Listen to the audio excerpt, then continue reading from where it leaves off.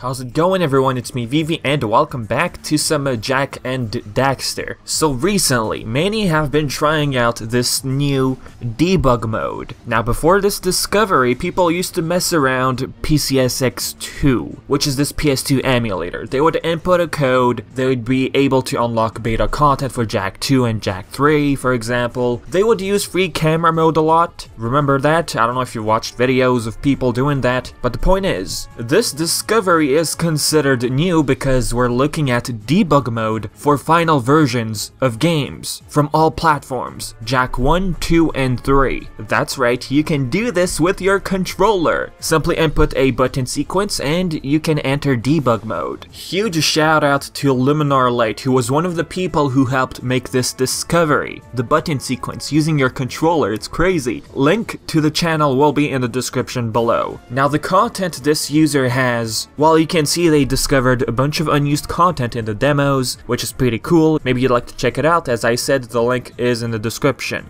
I'd also like to thank him for letting me show some of his footage in this video. So how did all of this start? Luminar wasn't the only one in this whole discovering process. While Donkey Planet, who also has a channel, I'll leave the link in the description as well, the user was looking for debug text functions back in October 26, 2017. Yes, this was not too long ago. Donkey Planet immediately contacted Luminar. Not too long after, Donkey Planet discovered the full menu and the demos of Jak 2 and 3 3 by pressing L2 and R1. Later on in January, Luminar told Donkey, hey, this combination you just showed me works for final versions of the games as well. Eventually, all of this led up to them discovering the debug mode using your controller and your second controller as well. Now, all of the names you see on screen are the people who were involved in this whole discovery process. You guys are beautiful. If you want to read the full story, you can find it on the wiki page of this discovery. The link is in the description as well. Quickly after I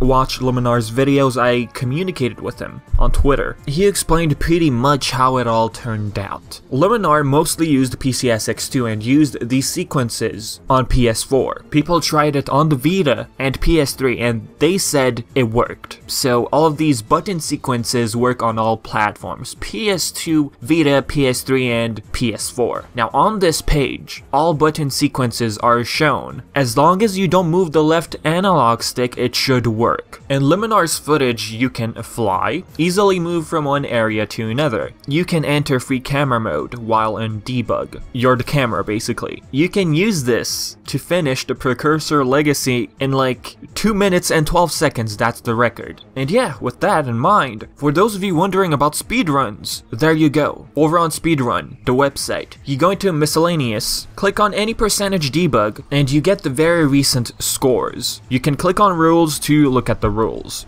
Jak 2 is 37 seconds. This is absolutely hilarious. Jak 3 is 9 seconds. 9! From what I've...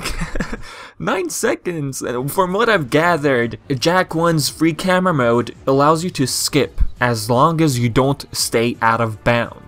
Jak 2 and 3, to skip the whole game, there's a secret menu option in the pause menu. You jump straight to the final boss. So after discovering all this, I decided to give it a try. I started off with the Precursor Legacy, and then Jak 2 and then Jak 3 on PS3, just for the fun of it, the collection. This works on all platforms, don't forget. I only used one controller, using a second one you can unlock even more interesting functions collectibles, and stuff. Like I said, all the button sequences are on Wiki. Alright, TPL. I input both codes in-game and at the main menu. It works with both. Since I just wanted to mess around with debug mode, I pressed continue without saving. In the first game you hear two beeps, one for the partial code and another for the full one. Here's the code which you have to input, partial and full. The way I did it is I put them separately. L3, input partial, let go, press L3 again, input the second code. Once you're in debug, you can enter free camera mode by pressing L1, R1, L2, and R2. Doing this in cutscene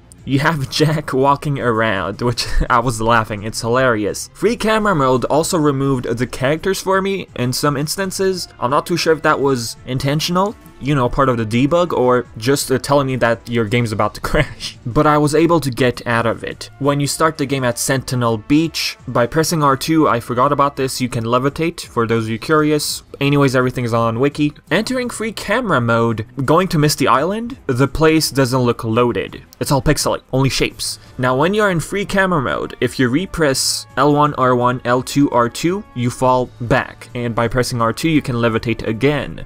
Now, if you just keep falling and falling, you're just gonna die over and over again. You're gonna respawn at the same place. Now, dying in a level which is not loaded, it will corrupt Sentinel Beach as well. If you try to go back, the island is gone. You just see pixels, shapes. This pretty much forces you to quit the game. As for the skipping part, enter free camera mode, make sure not to be out of bounds. So just follow the same route, pretend you're playing the game normally, you're the camera this time. You can skip everything. Now I did mess up twice at Rock Village, right in front of Klaww. If you go too quick, it's gonna black out everything. I succeeded by approaching Klaww slower and then everything loaded and it worked. Now once I was at the Citadel, I didn't follow the right route, so yeah, it uh, glitched out. So make sure you take the right directions, or else you're just gonna be out of bounds. Once you're successful, boom, Gol and Maia. Doing this should unlock story-related trophies. Guys, if this is your first time playing Jak and Daxter, don't do this, enjoy the game, okay?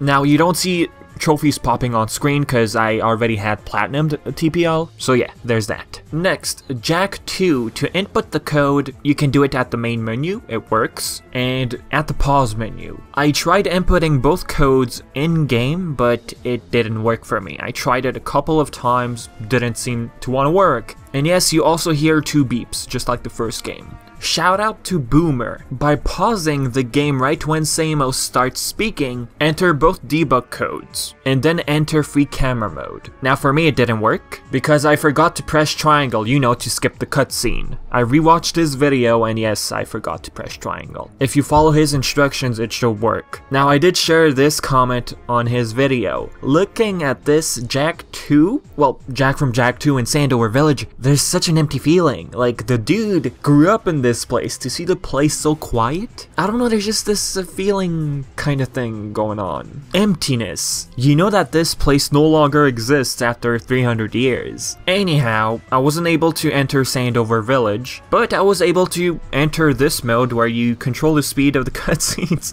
this was hilarious. R1 to speed up, and L1 to slow down. When you slow down, I absolutely love the sound it makes. Now pressing free camera mode. For me, I got Jak in his Jak 2 clothes, just floating around, like he doesn't move his legs. No pupils. That is scary. He like stares right into your soul. You use R2 to ascend, and L2 to descend. Playing around with free camera mode during cutscenes too much, it might crash your game. It happened to me once in Jak 2. Well, what happened exactly is, I just got this. It looks like the sea at Haven City, and the sky of Haven City, if I'm not mistaken. No sound, nothing. There's like a creepy factor to it, I don't know. Now to skip the game, you open up the menu when you start the game. After Daxter rescues Jak, you press L2, R1 while you're in the pause menu to unlock hidden options. Press select start, and you go down to the last boss. By beating Metal Kor, you unlock, well, not beating Metal Kor, I mean if you enter the final boss, all story related trophies get unlocked. Now, I had mine already platinumed on PS3. To unlock the last trophy in Jak 2, since not all of them unlock, after entering the final boss, you go in the secrets menu and you play the last cutscene, and boom, you get your last trophy. So I heard people saying that if you're doing this on PS3, only 15% of your trophies unlock after entering the boss battle with Metal Kor. If you do this a second time, you unlock 50% of your trophies. So all I'm gonna say guys is you try it out yourself. Don't cheat. Shut up Vivi, okay? No one cares about your opinion. I'm just saying, if you're playing this for the first time, what's the fun of